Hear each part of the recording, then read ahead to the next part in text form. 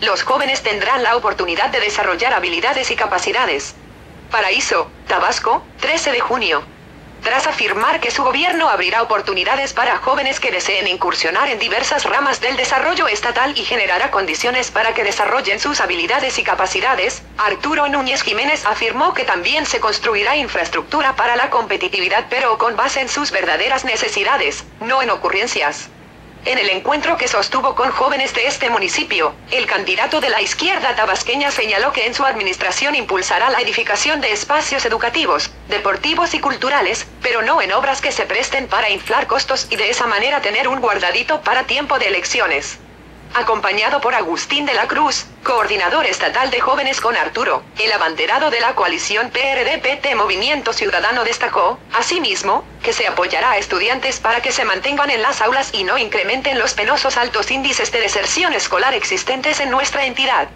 Por falta de recursos no pararemos para apoyarlos, pues se ayudará con becas a quienes tengan los mejores rendimientos escolares, manifestó luego de ver con buenos ojos la posibilidad de construir una casa del estudiante para diseño en el municipio de Cárdenas, pues muchos de ellos están matriculados en la Universidad Popular de la Chontalpa y no pueden pagar el costo del pasaje para trasladarse. Arturo Núñez resaltó en ese sentido que a esos universitarios también se les ayudará, aunque la mejor manera para resolver ese problema es ampliando la oferta educativa en materia de cobertura y calidad, pues en la medida en que van aumentando el grado escolar, va disminuyendo el cupo en los planteles, y destacó que gracias a las gestiones de Andrés Manuel López Obrador, fue fundada la UPT.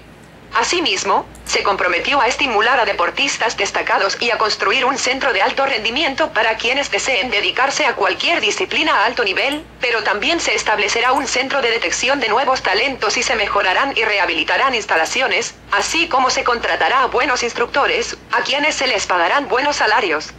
Luego de expresar que se promoverán escuelas de fútbol y béisbol, el candidato de la izquierda tabasqueña indicó que también se ampliará la oferta de productos culturales, como espectáculo, pero también para quienes deseen estudiar cualquiera de las disciplinas artísticas, como la música, literatura, escultura, danza o pintura.